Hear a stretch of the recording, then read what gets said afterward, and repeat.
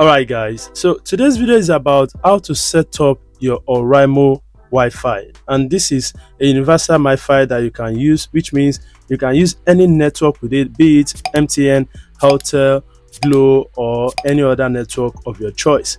Now the user manual that it comes with explain how you can actually set it up. But for the sake of those that don't know or you don't have the user manual or just want to know how to set it up completely i'm going to show you how you can do that without wasting much of your time let's get down to business. All right the first thing to do here is to charge up your mi-fi. Once you have it make sure it is fully charged. I've shown you how to charge that in the unboxing video. You can check up there in the card above. Now the next thing to do is to get your sim card and your sd card. So any network of your choice, just make sure the network is readily available at your place. That means your data provider or service provider has much network at your environment. That will affect your speed and every other stuff like that. The SD card is optional. You can use SD card and you can decide not to use it. So that depends on you. For me, I'll be showing you how to install the SD card too. The next thing to do is to bring out your SD card and the SIM card you have to use the second step of your sim card which is the micro okay you can see this is the second one not nano the micro okay? And you have to open your MiFi like this. You are going to see two ports there. The first one is for the SD card while the second one is for the SIM card tray. There is a lock there. You have to push it forward a bit so that it can unlock as you can hear a click and it's going to open up like this. Now you can install your sd card. Just place it there like this then you can lock it back slide it backward a bit. Now the second one is for the sim card. Push it forward a bit and open the sim card tray. Put your sim card this way into it and it's going to set. As you can see there's a shape here that shows the shape of your sim card. So just put it in that format and close it and click. So it will lock it and you can see it is not coming out. Now the informations here you can use them and there is a paper that comes with it a sticker which you can use this is very useful you can paste it by your desk or by somewhere that you can still use it you know when you want to use it it's also available at the back of your router so it's readily available everywhere so you don't have to be finding it or opening your MiFi every now and then before you can check something or do something in case you need it. Now you install the battery, which is the last thing. Make sure it's aligned with the connectors here. Okay. And once you have done that, you can now close the lid.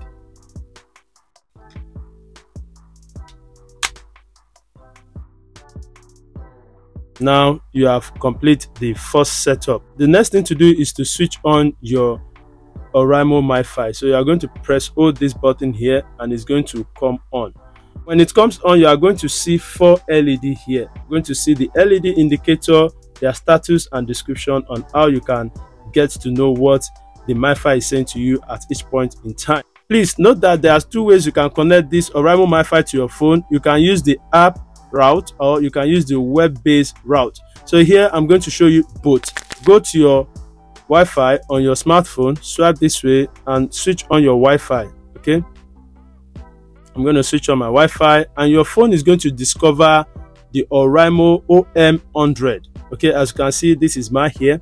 So it's going to discover it. This is the name or default name that it comes with. So select that and when you select that it's going to tell you to enter the password. The password is on this leaflet. Okay the password is this wi-fi key. Okay so i'm going to input my password here. Once you input your password select connect and it's going to connect to that wi-fi okay? As you can see it's checking the quality of the internet connection. And you can see message dropped in. That means it is connected okay? The next step to do is to go to your google play store. If you are using an android phone like me you have to use the google play store to download translink. You can see the translink scan code on the pack which is here you can also just go directly to google play store and search for translink which is this.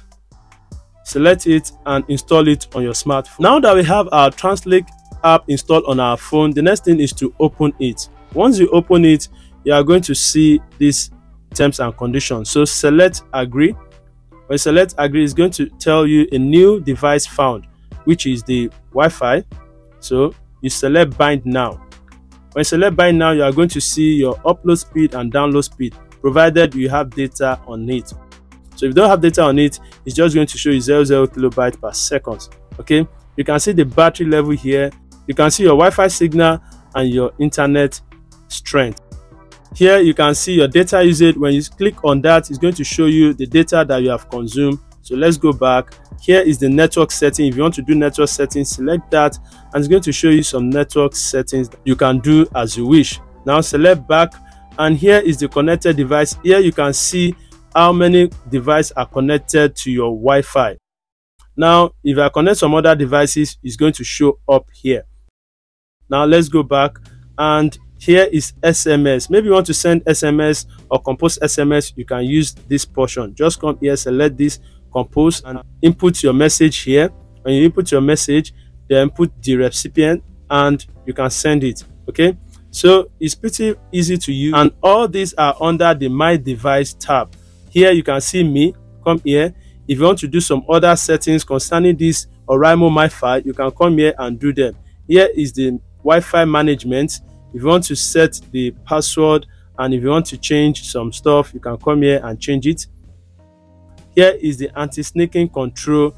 In case you want to be notified that you have a new device connected you can come here and toggle this on and it's going to send you an sms anytime a device connects to your wi-fi. All right? So here are also quick control options that you can go through. Network optimization in case you are having issue. You can also restart it. You can power it off via the app. You can restore it to default setting or factory setting using this option here and other things here if you want to change the display language you can come here and change the display language you can see we have english french Swahili, and some other language like that and common issue in case you have common issue about the router or the MiFi, you can come here and select that. It's as easy as that and that is all for the TransLink app. Okay, so now you have know all that. The next thing to show you is how to use web-based user interface. To use the web-based interface, you can just go to your Google Chrome and open it up. But I'm going to show you a shortcut here. Go to your Wi-Fi once again and select this gear icon by the side.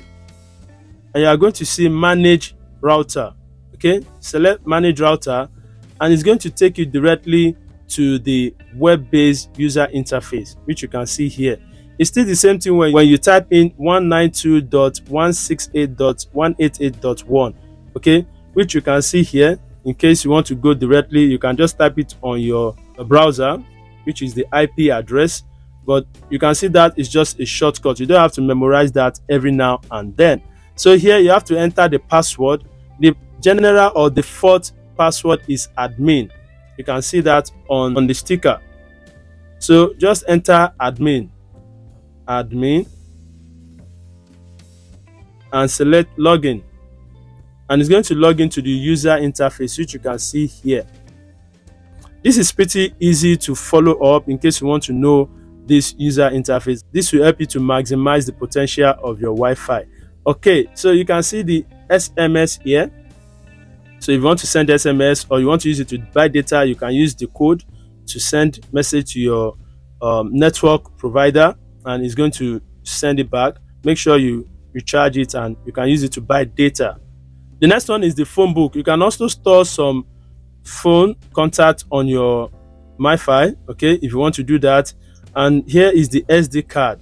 This SD card, I'm going to make a video on this separately so that you can know how to use the SD card. As you can see, it says SD card already exists and is available now. So if you want to use it, you can use it to share video, photos, or audio files um, on the same Wi-Fi, okay, with other users. So I'm going to show you video on that in another video, as in how to.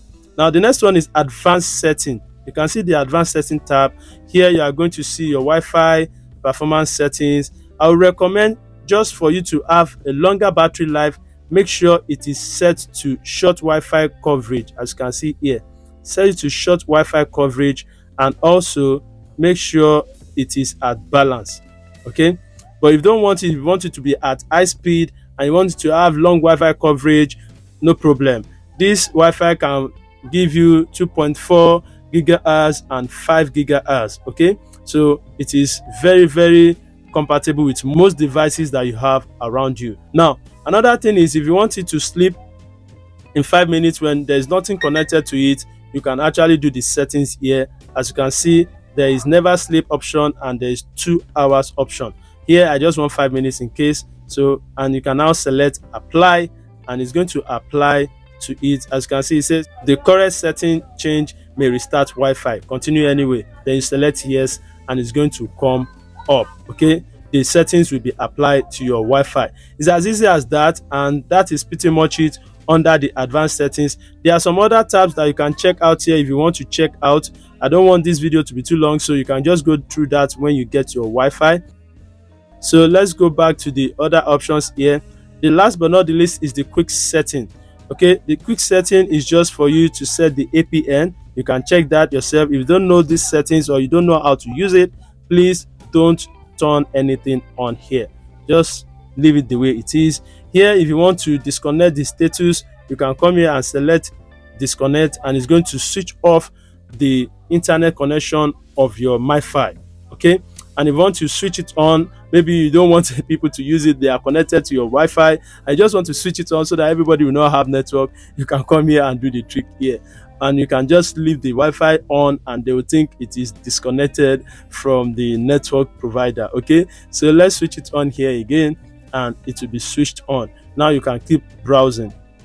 Here you can come to the settings here. That is the network settings. The network setting here you can do some mobile network setting if you want to do that. And they are pretty much everything you need to know. Here is going to show you the connected devices and some other stuffs like that. So it is pretty much easy here. And if you want to change your login detail here, you can come here and do hit up here. As you can see, modify login password. Select that and you can change your password here.